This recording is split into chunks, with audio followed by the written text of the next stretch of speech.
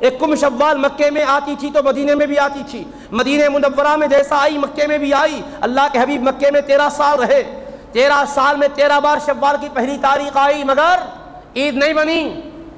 ذی الحجہ کی دس تاریخ آئی، دس تیرہ سال، مگر عید نہیں بنی۔ کب عید بنی؟ مصطفیٰ کی زبان سے جب الفاظ نکلے، تب عید بن گئی۔ حبیب صرف زبان سے الفاظ ادا کر دیتا ہے۔ تو وہ اب دن دن نہیں رہتا عید کا دن ہو جاتا ہے۔ تو فرمان نکلا تو عید کا بن گیا۔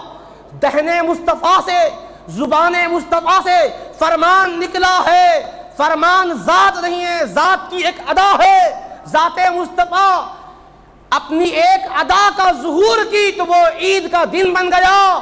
ذات مصطفیٰ کے دہن پاک سے فرمان آیا۔ تو دن دن تھا، اب عید ہو گیا۔ عالم غیب سے مصطفیٰ کی ذات آئی تو وہ دن عید کا دن کیوں نہیں بنے گا؟